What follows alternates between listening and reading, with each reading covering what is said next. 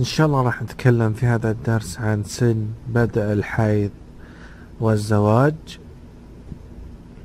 كان الحيض قديما يبدأ في سن تقريبا 17 إلى 18 ويكون آه الزواج بعد الحيض.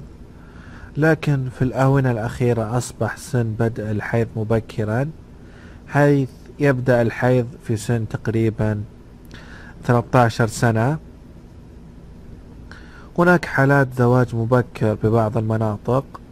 مثلا في البحرين آه 18% من الأمهات أول ما يحملون في سن تتراوح ما بين تقريبا آه 11 إلى 15 آه سنة.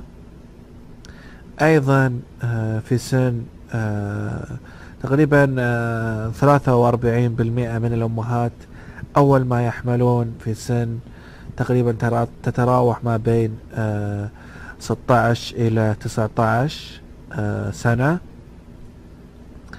أيضا في عمان تقريبا 85% يتزوجون قبل آه العشرين سنة. أيضا في السعودية 45% يتم حملهم الأول قبل سن 20 سنة.